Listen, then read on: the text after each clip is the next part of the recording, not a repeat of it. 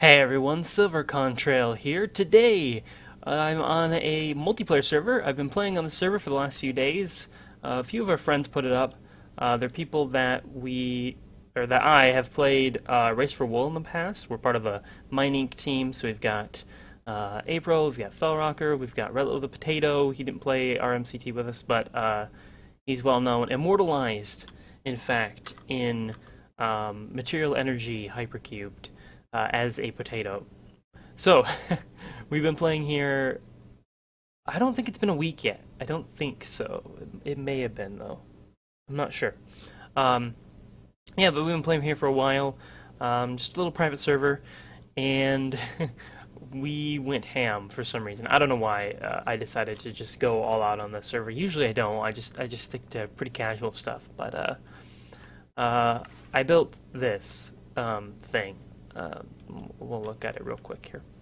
Uh, as long as I don't kill myself trying to uh, look around it. Uh, this is a mob system, which many of you are probably familiar with, uh, at least in terms of the basics, the design, what it does. Oh man, look at the look at the lag on that. That's crazy. Oh, that's really strange. I don't know if that's server lag. Oh, that might actually be server lag. That might be my side. Um, I'm currently uploading a video while I'm playing on this, so that would probably explain it. Uh, this is a design made by Ilmango. I'll put or Ilmango. I don't know why I said I want to say Imago. Uh, I think because I was farming Imago loops in Destiny the other day. Uh, so this was made by uh, Ilmango. I'll put the link in the description to his design. This is not 100% uh, pure replication, but it's pretty close. Um, in this case, I made it only half as big as what he made because uh, I didn't want to use up any more resources. Uh, to be honest, it probably would have been better if I would have made the full-size thing. Uh, so basically, it's uh, uh, it's a pretty simple design. Um, we've got eight spawning floors here. Uh, we've got dispensers hooked up to them. They push out water at intervals.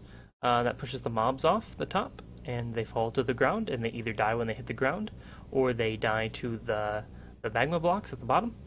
Uh, and then the water down at the bottom pushes all the items into a collection point, and then we pick them up at the bottom.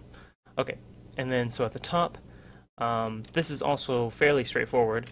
Uh, we just have a big, huge hopper clock. Now, I know a little bit about redstone. I am okay at it, sometimes. I have very little knowledge of what exactly I created here. I'm not sure what is really going on. like I could probably tell you like a little like a little piece of like, okay, this is where the signal goes, and this is but why I have all this going every which way, I have no idea. So who knows? Um, but this is I do have an on and off switch here, uh, which I'm actually going to flip um, and disable the system. Why?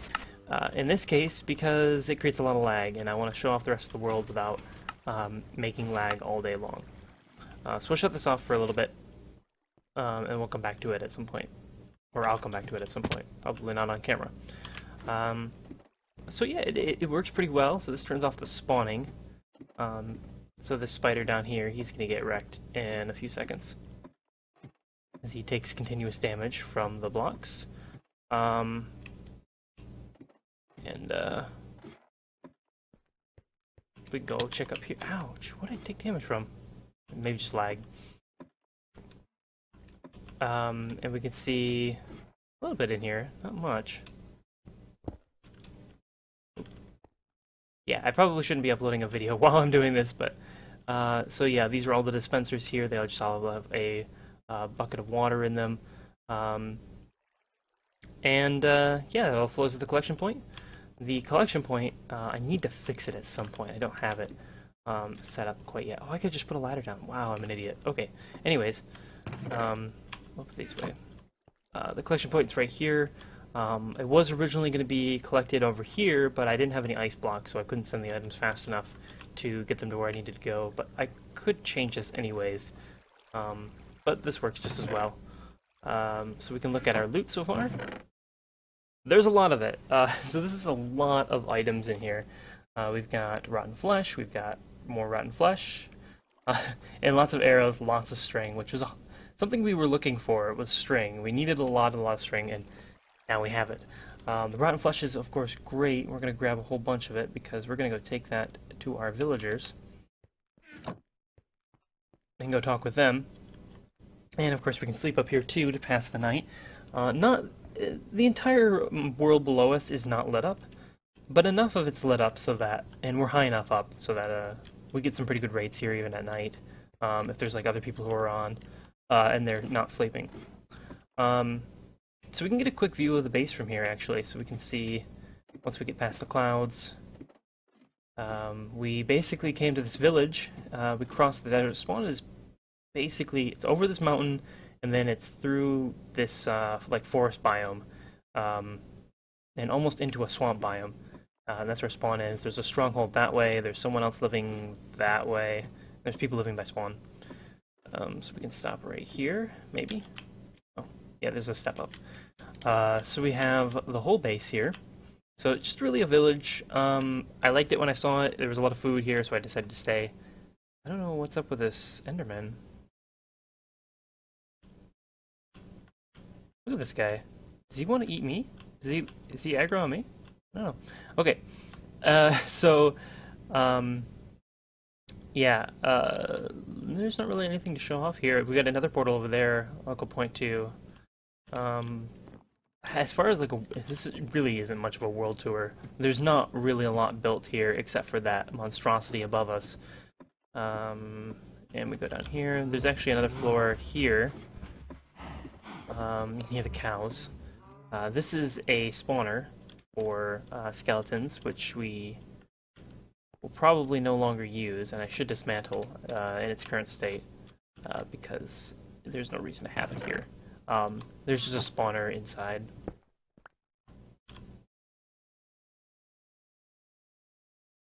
Someone put a torch on it. Who did that?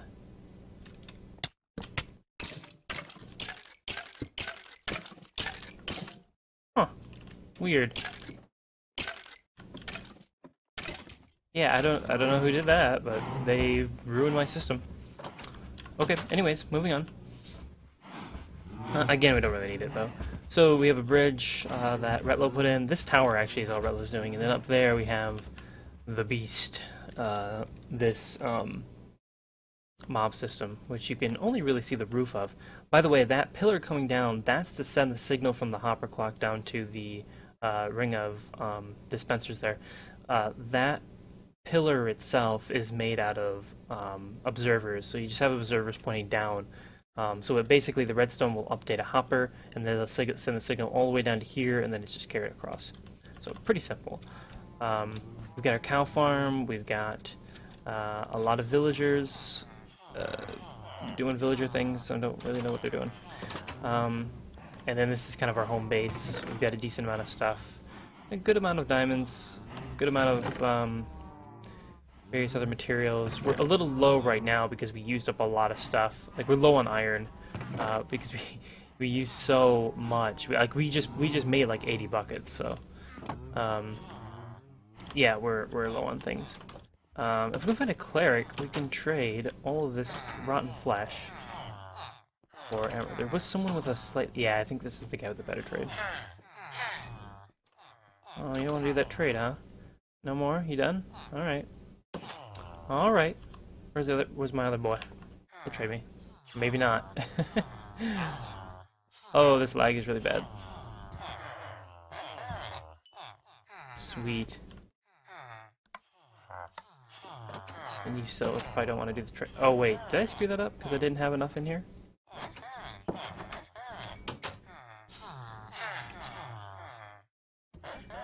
Yeah, when they get trade locked out, they actually have a little X on the trade. Yeah, there we go.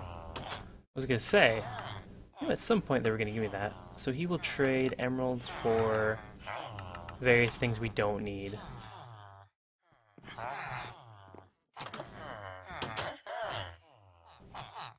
Oh, this is great. I haven't built, um, I haven't built a mob grinder in a long time.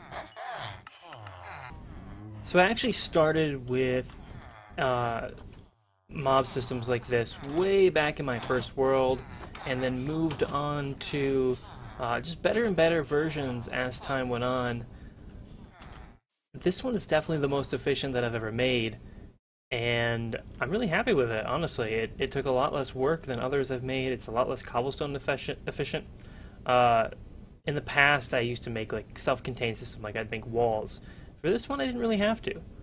Um, it's certainly the only impressive thing we've built on the server just yet. Eventually, I'd like to get an Enderman farm set up. I think that's the next target for me after we beat the Ender Dragon. So, yeah, definitely something we're going to do in the future. Uh, another thing we did is we put another portal here and it connected to another guy's who was like a thousand blocks that way. I'm not really quite sure. I, I mean, I guess they're close enough to the nether.